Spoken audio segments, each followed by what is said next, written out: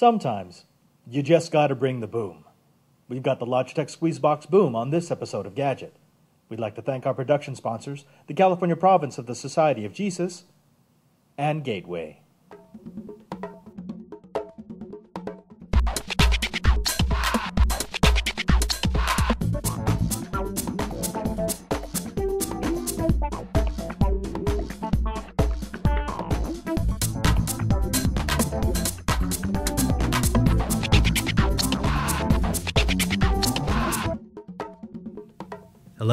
And welcome back to Gadget at thetechstop.net. It's the place where it's always time to get your geek on. I'm your host, Father Robert Ballecer of the Society of Jesus. I'm a member of the California Province of the Jesuits. We are the largest religious order in the Catholic Church, and we are not in the Center for Apostolic Technology in Honolulu, Hawaii. That's right, we've moved out of Hawaii officially. I'm on my way over to Washington, D.C., where I'm taking over a new position as the National Director of Vocation Promotion. But before I get there, we decided to stop at our secret bunker here in Henderson, Nevada, to bring you some new tech. Now, if you're an uber geek like me, this might be something that's near and dear to your heart. You probably have a lot of media files hundreds, thousands, maybe tens of thousands of pieces of classical and pop music, your podcast, whatever it might be. And for us, it's actually pretty easy to call up. You know, we have it on our desktop, our laptop, our media device, our phone, our iPod, whatever it might be. But for non techies, it can be kind of daunting to access all of our media. Now, I share it with my mom and my dad, but uh, you know there aren't a whole lot of solutions. I can give each of them a, an iPod. I can load up a bunch on a media device, but you know, doing actual streaming media over the network that I've created, it's out of reach for most lay people. There are a couple of solutions out there. You know, you can home build a box, a, a Linux box that's designed to stream media. There are a few boxes from different manufacturers that do really high-end audio that can kind of do it well but there hasn't really been a unified solution that gives you an end to end ability to take your media and stream it well. That's why we're taking a look at the Logitech Squeezebox Boom. The Squeezebox Boom is a network connected music player from Logitech, an evolution of the Squeezebox Duet, which made streaming audio from your home or business network possible even for non technically inclined. The boom is 13 inches wide, 5 inches high, and 5 inches deep with an angled front surface. The cabinet is black reflective plastic with two speakers framing a rubberized control panel below the display. The screen on the Squeezebox Boom is bright, easy to read, and uncluttered. It uses a teal VFD, or vacuum fluorescent display, with an ambient light sensor that automatically adjusts the brightness on the high contrast screen to compensate for lighting around the unit, meaning that you'll never have to squint to see the screen in bright light or drape the unit to avoid having a blaringly bright screen break your ambiance or sleep. The front panel of the boom has an array of backlit controls, including six preset buttons, power, five standard function buttons, and a volume rocker in addition to the push button control wheel.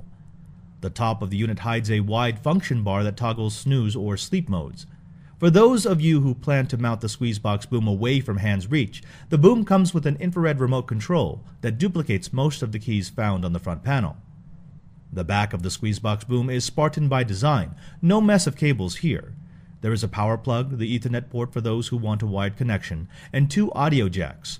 One doubles as the headphone jack and an output for an external subwoofer, while the other is an audio in, meaning that you can connect your media player, computer, or whatever device you might want to play through the boom as long as it supports a 3.5mm jack. The boom features 3 quarter inch tweeters and 3 inch long throw woofers with a total of 30 watts of power. It also features digital crossovers and a DSP to process audio. Nice, but not exactly ear shattering specs. Then again, the Squeezebox isn't out to replace your home theater system, but to expand the reach of your music library with a conveniently packaged box that offers quality rather than quantity sound. Connecting the Squeezebox Boom to your network is simple.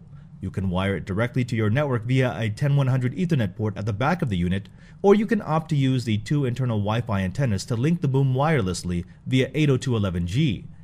Once you've plugged in, the large button wheel allows you to navigate the menus. The menu system is interesting because it offers the user dozens of parameters for fine-tuning the network and system behavior, but it doesn't seem cluttered or overly complicated. For most people, once the network is set up, they'll never be reminded that this is a streaming media device. Even firmware updates are automatically downloaded and applied. All the tech works in the background, leaving the user with only the decision of what to listen to. If you plan to use the boom only as an internet radio, then you've done enough. But why lose out on the best part of the Squeeze box? The boom gives you a unique PIN that allows you to register it with Squeeze Network. Once registered, a no-fee process, you'll be able to control your music, internet radio stations, playlists, alarms, presets, and pretty much everything else to do with your boom from a web browser using Logitech's Squeeze Central. You can download and install the Squeeze Central software to your computer, turning it into a media repository and control for your boom. You can even run multiple squeeze boxes from a single interface, making it a control center for the music of your entire house or office. As an added bonus, many popular network storage devices, like the entire ReadyNAS line from Netgear, have an embedded Squeeze Central plugin that will give your boom the run of your network storage. Either way, we were impressed with the ease of use and intuitive layout of Squeeze Central. It just works. The Boom will play most of the popular audio formats including MP3, AAC, WMA, OGG, FLAC, Apple Lossless, WMA Lossless, WAVE, and AIFF. It should be noted that the Boom does not support DRM music without some kind of transcoding. That means that those with large collections of iTunes or Zune Marketplace files will not be able to directly play those files through the Boom. The Boom does have an included plugin to play music through the unit through iTunes, but the best results come from DRM free music. In addition to the supported file formats, the Boom supports internet radio and podcasts from Last.fm, Pandora, Slacker, Rhapsody, and Sirius, among others.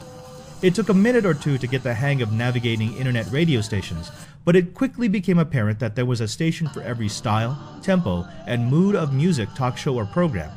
It's easy to start with the staff selection of stations, then move to a more expansive search of the internet for the streaming radio stations and podcasts for which you're looking. Logitech made it easy to mark favorites and add RSS feeds so that your streaming media will reflect what you want to hear. Audio quality was good. In fact, it was very good, far better than what we had expected from relatively small speakers. The highs were clear, the bass was credible, and adding an external subwoofer made it a great little system for in-room theater or a heart-pumping gaming session. It filled a relatively large room without ever sounding tinny or distorted, even when we turned the volume to 11. In all, the Logitech Squeezebox Boom is a fantastic little unit that is the standard for an easy to deploy, easy to use, and easy on the ears media box. The Boom is available now on the internet and at most major consumer electronics stores. We were able to find it for as low as $230. Okay, let's talk about the negatives.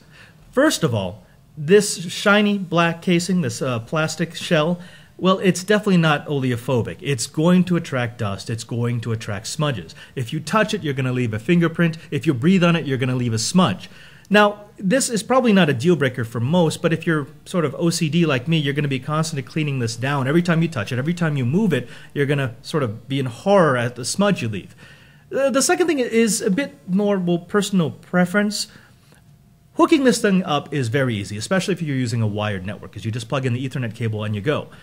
If you're using a wireless network, however, and if your wireless network is like mine, using a 26 character WPA key, it can be a chore to input that using just the wheel. Now, I, I, was able to do it relatively easily, but if you move networks a lot, wireless networks like I do, and if you plan on taking your boom with you, I mean, Logitech was nice enough to include a nice little carrying case, that's going to be a pain in the butt and you're going to end up plugging it in most of the time. Still, neither of those are deal breakers. And I mean, they really have come up with some secret sauce here. They've come up with a unit that is small and compact and simple, and yet powerful and full featured. It has everything from internet radio to the ability to, to really stream your media over your network from your network storage devices or your laptop or desktop. They've included extras, like right now, if you listen,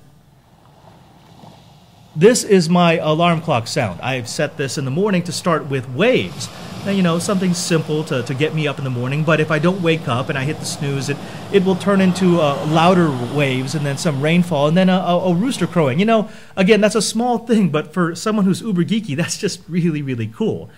This is a device, especially at this price point, this close to $200 price point, that I could see being put into several rooms in your house or in your small office you know, having everything on one control panel so you can send the different pieces of music to different parts of your house, so you could share your podcast, so you could set alarms at individual sites. That's just, well, that's very uber geek.